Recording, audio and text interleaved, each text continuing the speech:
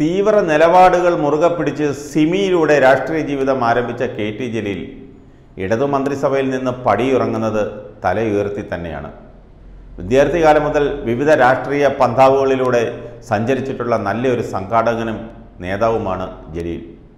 K T കുഞ്ഞഹമ്മദിന്റെയും പാറയിൽ നഫീസയുടെയും മകനായി തിരൂരിൽ ജനിച്ച ജലീൽ കുറ്റിപ്പുറം ഗവൺമെന്റ് ഹൈസ്കൂളിൽ നിന്നാണ് ഹൈസ്കൂൾ വിദ്യാഭ്യാസം പൂർത്തിയാക്കിയത്. Chendamangallur Islahiya college Tirurangadi P S M O college എന്നിവിടങ്ങളിൽ തുടർപഠനം നടത്തി. എം ഫിൽ പൂർത്തിയാക്കിയ ശേഷം കേരള സർവകലാശാലയിൽ നിന്ന് പി എച്ച് ഡി എടുത്ത Jaleel. Tirurangadi P S M O A കോളേജിൽ ചരിത്ര അധ്യാപകനായി ജോലിയിൽ പ്രവേശിച്ചു. Students Islamic movement of India എന്ന സംഘടനയിൽ അതായത് സിമി എന്ന സംഘടനയിൽ പ്രവർത്തിച്ചുകൊണ്ടാണ് കെ ടി ജലീൽ രാഷ്ട്രീയ പ്രവർത്തന രംഗത്തെത്തുന്നത്.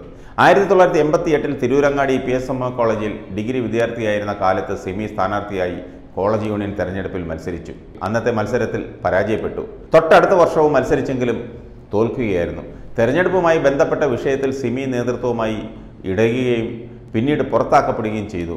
പിന്നീടാണ് മുസ്ലിം ലീഗിന്റെ വിദ്യാർത്ഥി സംഘടനയായ എം എസ് എഫിൽ ചേരുന്നത്. മുസ്ലിം യൂത്ത് ലീഗിന്റെ സംസ്ഥാന ജനറൽ സെക്രട്ടറിയും മലപ്പുറം ജില്ലാ പഞ്ചായത്ത് അംഗവുമായിരുന്നു. കുറ്റിപ്പുറത്ത് നിന്ന് ജില്ലാ കൗൺസിലിലേക്ക് വിജയിച്ചു. പിന്നീട് ജില്ലാ പഞ്ചായത്ത് വിദ്യാഭ്യാസ സ്റ്റാൻഡിംഗ് കമ്മിറ്റി ചെയർമാനായി. കുറ്റിപ്പുറം മണ്ഡലം മുസ്ലിം യൂത്ത് ലീഗ് പ്രസിഡന്റും യൂത്ത് ലീഗ് സംസ്ഥാന ജനറൽ സെക്രട്ടറി എന്നീ നിലകളിലും പ്രവർത്തിച്ചു. പിന്നീട് പാർട്ടിയിൽ സ്വേച്ഛാധിപത്യ ഭരണമാണെന്ന് ആരോപിച്ച് ലീഗിൽ നിന്ന് പുറത്തുപോയി ഇടതുപക്ഷത്തിനൊപ്പം ചേർന്നു. മലപ്പുറത്ത് ലീഗിനെ പിടിച്ചു കെട്ടുക എന്ന അജണ്ടയുമായി രണ്ടായിരത്തി ആറിലെ തെരഞ്ഞെടുപ്പിനെ നേരിടാൻ ഇറങ്ങിയ ഇടതുപക്ഷം കുറ്റിപ്പുറത്ത് ലീഗിന്റെ അധികായകൻ പി കെ കുഞ്ഞാലിക്കുട്ടിക്കെതിരെ മത്സരിക്കാൻ കെ ടി ജലീലിനെ അന്ന് രംഗത്തിറക്കി. കുഞ്ഞാലിക്കുട്ടിയെ പരാജയപ്പെടുത്തി കെ ടി ജലീൽ ഇടത് രാഷ്ട്രീയത്തിൽ തന്റെ സ്ഥാനമുറപ്പിച്ചു സി പി എം അംഗമല്ലാതിരുന്നിട്ടും പാരമ്പര്യമുള്ള പാർട്ടി പ്രവർത്തകൻ എന്ന പോലെ ഇടതുപക്ഷം ജലീലിനെ നെഞ്ചിലേറ്റി. ലീഗിൽ തന്നെ തുടർന്നിരുന്നെങ്കിൽ ഒരുപക്ഷെ അദ്ദേഹം ഒരു എം എൽ എ സ്ഥാനത്തിന് അപ്പുറത്തേക്ക് ജലീലിന് ഉയരാനാവുമായിരുന്നില്ല. രണ്ടായിരത്തി പതിനൊന്നിൽ പുതുതായി രൂപീകരിച്ച തവനൂർ മണ്ഡലത്തിൽ മത്സരിച്ച ജലീൽ കോൺഗ്രസിന്റെ വി വി പ്രകാശിനെ ആറായിരത്തി എണ്ണൂറ്റി അൻപത്തിനാല് വോട്ടിന്റെ ഭൂരിപക്ഷത്തിൽ പരാജയപ്പെടുത്തി തവനൂരിന്റെ ആദ്യ എം എൽ എ ആയി. രണ്ടായിരത്തി പതിനാറിൽ തവനൂരിൽ നിന്ന് തന്നെ വീണ്ടും വിജയിച്ചു. പിണറായി മന്ത്രിസഭയിൽ തദ്ദേശ വകുപ്പാണ് ജലീലിന് ആദ്യം ലഭിച്ചത്. രണ്ടര വർഷത്തിന് ശേഷം വകുപ്പ് മാറ്റി ഉന്നത വിദ്യാഭ്യാസ വകുപ്പിന്റെ ചുമതല നൽകി.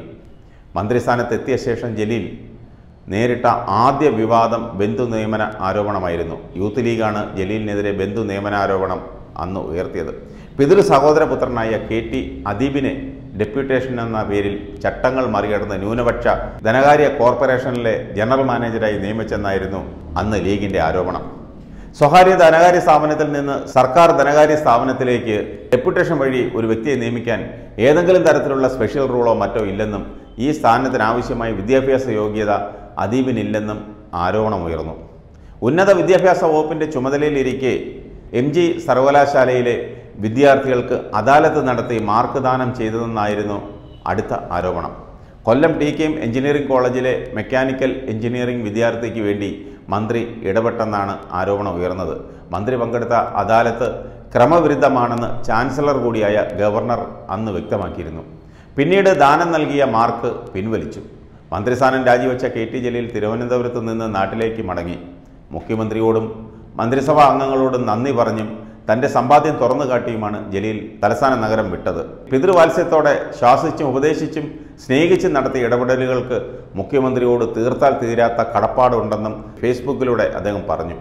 തിരുവനന്തപുരത്ത് നിന്ന് യാത്ര പുറപ്പെടുന്നതിന് മുമ്പാണ് അക്കൗണ്ടിൽ എത്ര രൂപ മിച്ചമുണ്ടെന്ന് പരിശോധിച്ചത്. പത്ത് വർഷത്തെ എം എൽ എ ശമ്പളവും അഞ്ച് വർഷത്തെ മന്ത്രി ശമ്പളവും മാസാമാസം ആവശ്യത്തിനുള്ളത് എടുത്തിട്ട് ട്രഷറി അക്കൗണ്ടിൽ ശേഷിപ്പ് കഴിഞ്ഞ മാസത്തെ ശമ്പളം ഉൾപ്പെടെ രണ്ട് ലക്ഷത്തി പതിനായിരത്തോളം രൂപയാണ്. എം എൽ എമാർക്കുള്ള ലോൺ വകയിൽ എടുത്ത അഞ്ച് ലക്ഷം രൂപയിലേക്ക്.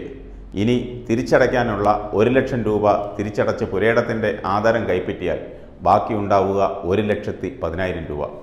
ഒരു നയ പൈസ സർക്കാരിന്റെയോ ഏതെങ്കിലും വ്യക്തികളുടെയോ ഒരു കണികയെങ്കിലും എന്റെ കയ്യിൽ പറ്റാത്തത്ര സൂക്ഷ്മത പുലർത്തിയിട്ടുണ്ട് എന്ന കൃതാർത്ഥതയോടുകൂടിയാണ് നാട്ടിലേക്ക് മടക്കമെന്നും മറിച്ചൊരഭിപ്രായം ആർക്കെങ്കിലും ഉണ്ടെങ്കിൽ അവർക്കിത് പരസ്യമായി പറയാമെന്നും ജലീൽ തന്റെ ഫേസ്ബുക്ക് പേജിൽ കുറിച്ചു. അതേസമയം കെ ടി ജലീലിനെതിരായ ലോകായുക്ത ഉത്തരവ് റദ്ദാക്കണമെന്നാവശ്യപ്പെട്ട് സർക്കാർ ഹൈക്കോടതിയെ സമീപിച്ചേക്കും.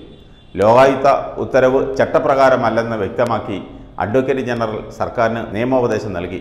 ഉത്തരവിനെതിരെ സർക്കാരിന് ഹൈക്കോടതിയിൽ ഹർജി നൽകാമെന്നും നിയമോപദേശത്തിൽ പറയുന്നു. കെ ടി ജലീലിന് മന്ത്രിസ്ഥാനത്ത് തുടരാൻ അർഹതയില്ലെന്ന ലോകായുക്ത ഉത്തരവ് ചട്ടങ്ങൾ പാലിച്ചല്ല എന്നാണ് എ ജിയുടെ വിലയിരുത്തൽ.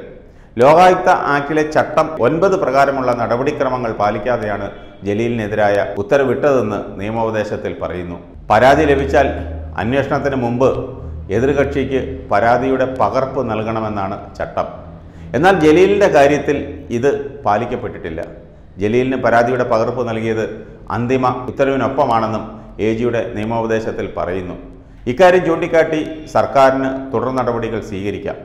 ചട്ടങ്ങൾ പാലിക്കാത്ത ഉത്തരവായതിനാൽ ലോകായുക്തയ്ക്കെതിരെ സർക്കാരിന് നേരിട്ട് ഹൈക്കോടതിയെ സമീപിക്കുന്നതിനും തടസ്സമില്ല.